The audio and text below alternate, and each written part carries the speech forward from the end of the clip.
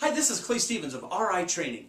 You know, I want to talk today about three things real briefly possibility, probability, and predictability. You know, when you think about your business, you think about what it makes possible. What is it that people want? What did you want when you saw your business? Well, the same thing is true when you show other people your business, your products, your services, they, because people really don't buy those things. They buy what those things will do. In fact, when you look at your business offering itself, the money-making opportunity that you allow people to, to engage with in partnership with you, it's not that they want to do that work, it's that they want the result that it will create. Essentially, you're selling a result. The possibility of what you have. So remember, when you're thinking about your business, it's not what you make that matters. It's what you make possible that matters. It's what you make possible. People bought that, by that result, and they're buying into you. So when you're overcoming objections, when you're contacting, when you're presenting, when you're asking for the business, etc., when you're asking people to take action, what you're really uh, what you're really asking them to do is to make a decision, to take action, to produce the result based on what you've just shown them to be able to create the result that they want in their life. Second is probability. What is your make what makes your business probable? Essentially, there's really a best case scenario, a worst case scenario, and a probable case scenario. Now we're really good at talking about the best case scenario. Fast cars, big houses, islands in the Pacific Ocean, buying planets and maybe even solar systems, who knows. But eh, you know, when you talk about what's possible, well, those things are possible, yes, and people do need to know that. But in regards to probability, what makes your business probable? Well, the products are have a great probability of working. In fact, I will almost guarantee you that 100% of the time, if somebody takes your products, if they use your services as directed, as the company says, as the, the company uh, is not selling hype and hopium, they're saying, hey, use these products or these services in this way, and here is the probability of what will happen in your life. And so you have to be able to understand probability. Best case scenario maybe is possible. The worst case scenario, probably not so much. The probable case scenario is in between. So let me just share one thing with you. At the end of your presentation, you might just say, hey, now that you know what the best case scenario is, here's the worst case scenario. You, you, may, uh, you may offend a couple of the people who were saying that you were, you were your friends. Uh, the startup cost of the business, a few hundred dollars maybe, that would be the worst case scenario, a little bit of your time. But the probable case scenario is in between. And for whatever you feel comfortable in regards to sharing with people, that's the probable case scenario. In fact, I'll tell you that the probable case scenario is exactly what people want.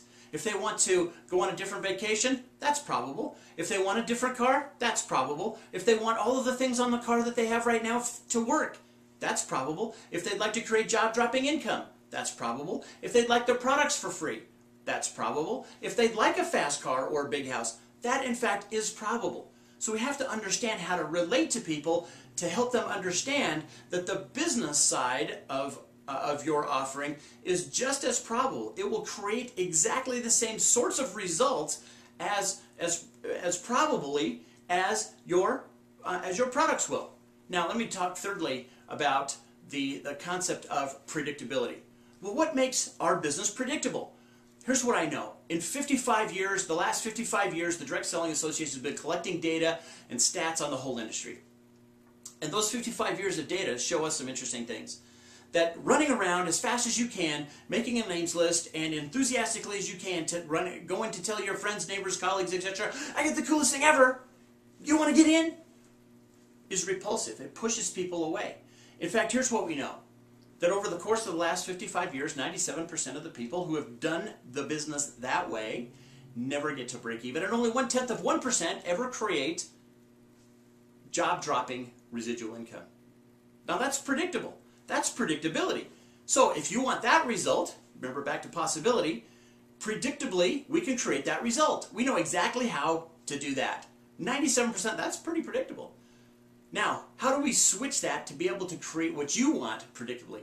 Well, there's a three-step success pattern that we teach. Improve yourself, then build a team, then qualify to become a leader and help other people do that same thing. So you're pulling people through the process with you. Improve yourself, then build a team, then you qualify to become a leader.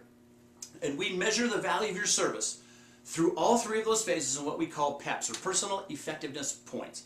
And those PEPs help you to be able to understand where you are and what you're supposed to be doing. So improve yourself, build a team so that you can do that effectively. Not just throwing mud at the wall, not just dealing cards, not just hoping, uh, enrolling, hoping, and, and replacing people. No, no, no, no, no. We're talking about something that actually creates massive success, and that is this.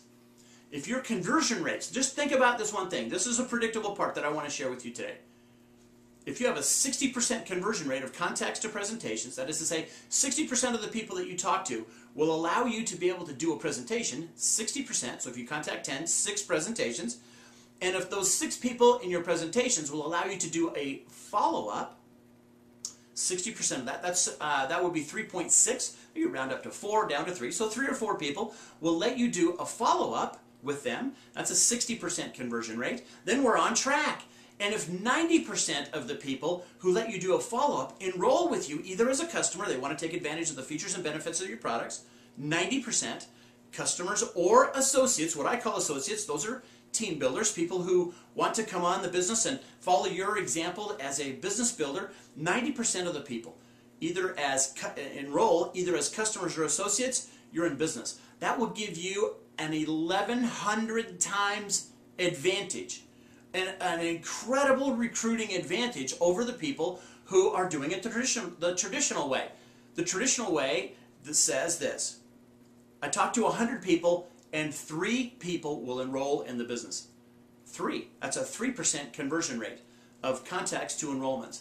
And what I'm talking about will produce a 32 or 33% conversion rate of contacts to enrollments.